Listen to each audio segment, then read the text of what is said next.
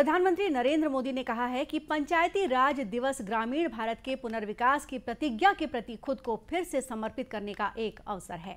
उन्होंने कहा कि यह हमारे ग्राम पंचायतों के असाधारण कार्यों को मान्यता देने और उनकी सराहना करने का दिन है।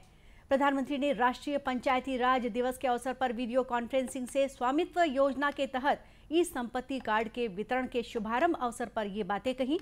इस अवसर पर चार लाख नौ हज़ार संपत्ति मालिकों को उनके ई संपत्ति कार्ड दिए जाने के साथ ही देश भर में स्वामित्व योजना के कार्यान्वयन की भी शुरुआत हो गई। इस अवसर पर केंद्रीय मंत्री नरेंद्र सिंह तोमर उपस्थित थे। संबंधित राज्यों के मुख्यमंत्रियों और पंचायती राज मंत्रियों ने भी इस कार्यक्रम में भाग लिया। इस दौरान प्रधानमंत्री ने ज़ोर देकर कहा कि यह हमारी ज़िम्मेदारी है कि इस कठिन समय में कोई भी परिवार भूखा न रहे उन्होंने बताया कि प्रधानमंत्री गरीब कल्याण योजना के तहत प्रत्येक गरीब व्यक्ति को मई और जून के महीनों में मुफ़्त राशन मिलेगा।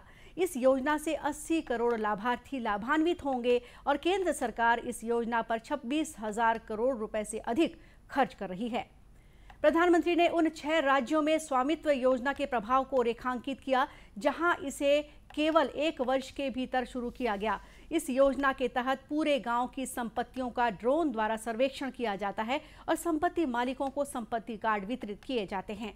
आज पाँच हज़ार से अधिक गाँव में चार लाख नौ हज़ार लोगों को ऐसे ई संपत्ति कार्ड दिए गए।